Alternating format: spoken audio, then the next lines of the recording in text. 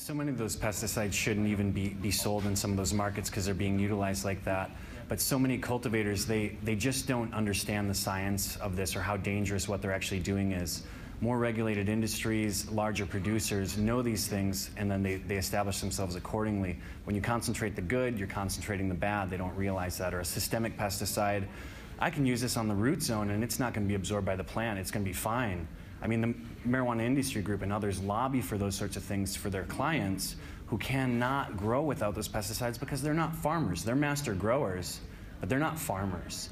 And that's the key point that we really need to understand. And those pesticides, they just, yeah, if you know the rules, you can get around them. So let's help to write better rules so that we know where the diversion can happen, how they can use those products. But through wise cultivation, they're not needed. Yeah, show don't tell is really the main thing. Like, because this industry, like you saw in the early slides this morning, 55% of it's less than a year old. Of course, I'm the best. I'm the biggest. I'm this and that.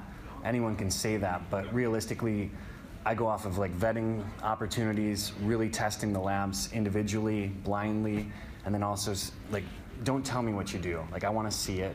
I want to understand it, and then the industry will speak for itself. Like the, the cream will rise. Everything else is going to be sifted off as you see it. Yeah.